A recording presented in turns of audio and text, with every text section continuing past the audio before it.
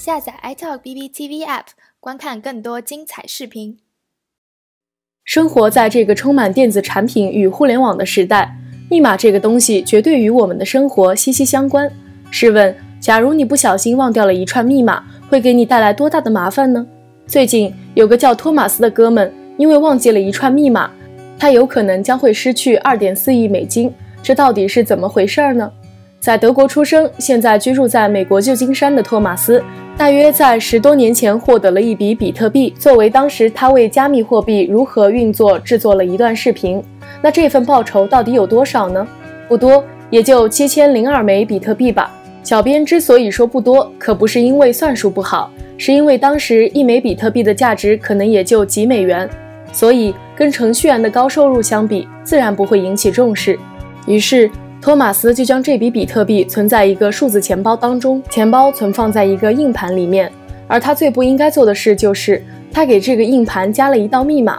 现如今，比特币的价值在近几年来一路狂奔，特别是这几个月连翻几倍，一比特币目前相当于三点四万美元。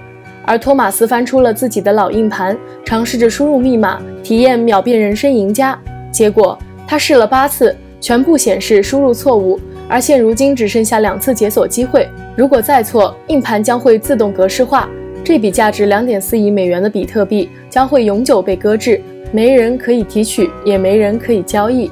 巨额比特币被密码锁住的故事，在经过媒体报道后迅速传遍社交媒体。前任脸书网络安全负责人斯坦莫斯表示愿意帮助托马斯解锁，但要求获取百分之十的酬劳。虽然说有点趁火打劫的意味。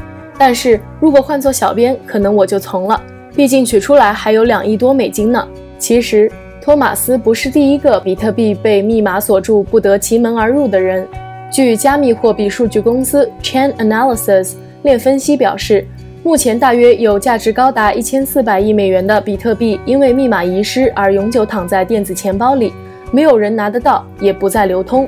但另一方面，每天都有人寻求协助，试图解破比特币密码。这也出现了新的商机。《纽约时报》的文章也提到，有一个人的手提电脑被同事重新格式化，结果里面存有的八百比特币的密码也消失了。二零一三年，一名威尔士男子无意间丢掉存有七千五百比特币的电脑硬碟，急忙到垃圾掩埋场寻找。当时价值四百万英镑的比特币，现在大概超过两点五亿英镑。所以啊，密码还真是不敢轻易忘啊。指不定损失的就是几个亿的小金库呀。至于如何才能记住各种各样的登录密码呢？想必各位聪明的看官总有自己的办法啦。如果您喜欢本期视频，请关注、点赞并分享，下载 App 解锁更多功能。我们下期再见哦。